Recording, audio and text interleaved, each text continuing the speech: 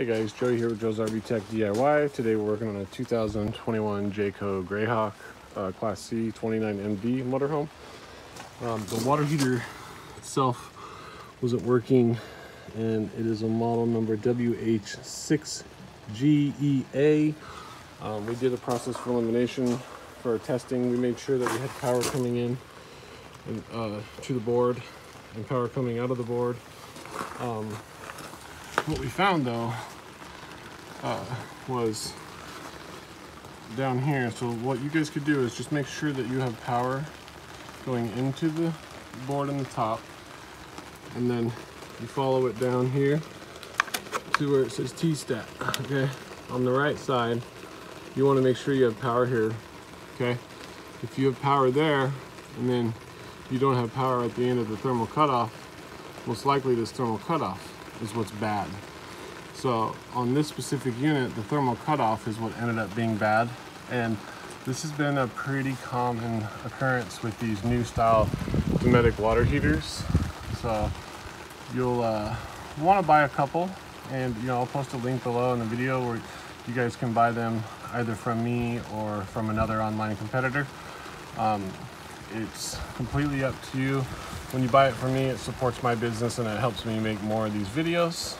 But um, this is a pretty simple fix. And uh, one thing we want to make sure we do is we want to make sure that this burner tube is completely clear of any debris. So we always blow it out with air. Um, spiders love to get in here and build nests. And uh, also inside the main tube itself, they can build spider webs and everything. If you have a flame out situation here, it'll come up and touch this thermal fuse and it's done. It'll just trip. So every time I see these new ones, this thermal fuse is always really low on the left side and it's uh, not installed properly, looked at. So it shouldn't be that close down into the burner tube like that. Um, when I got here, this whole piece here was bent down into it almost.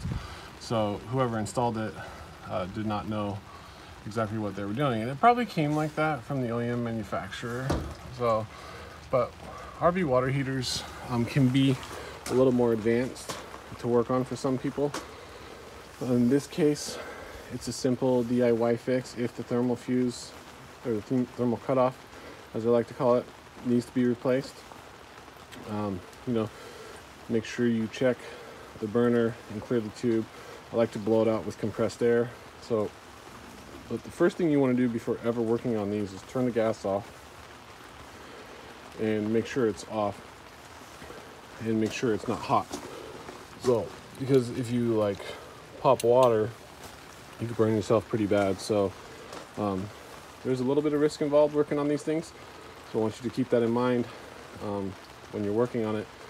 But if you have a water heater that's this new style Dometic and you're having issues and it's brand new, um, one of the top things we're finding is this thermal cutoff fuse is bad.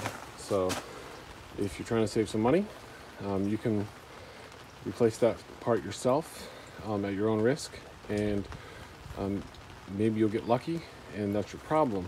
So process of elimination though, you want to follow the power, make sure you have power going into the board, okay? So you take this top connector off and then this orange wire right here is your power wire. And then this purple looking wire goes down and hooks up to your actual thermostat itself. Now, if this purple wire has power down here at the thermostat and it has power coming out on the other side of the thermostat behind the thermal cutoff, then you know, you, you would take it off at this end then, right here. And if you don't have any power right here at this end, you know that you uh, likely have a bad thermal cutoff fuse. So I hope this DIY video helps somebody out there. And until next time, if you haven't subscribed already, be sure to subscribe.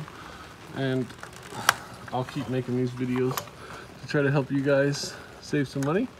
And if you're in need of a thermal cutoff fuse or any other RV parts below, um, we are launching World of RV Parts soon. And uh, you'll be able to get all your RV parts from us. So thanks for watching. Safe travels. Till next time.